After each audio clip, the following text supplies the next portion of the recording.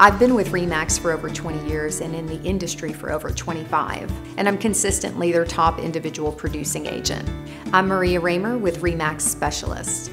North Florida is a great place to relocate because of many reasons. The affordability is the number one reason. The other reason people enjoy being here is because of the climate.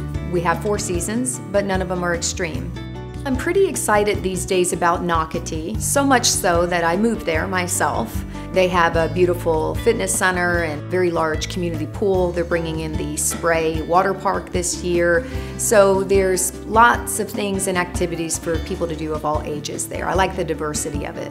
Ponte Vedra is about six miles from where I live in Nocatee. I love Ponte Vedra's public beach access. Mickler's uh, is a really nice place to go for the day with your family. There's a lot of wonderful little restaurants and being so close to the area and being there all the time now, I found that there's just wonderful places to spend time and shop and still be very close to the ocean. It's just a good mix of activities and things going on in Ponte Vedra. It's one of my favorite areas.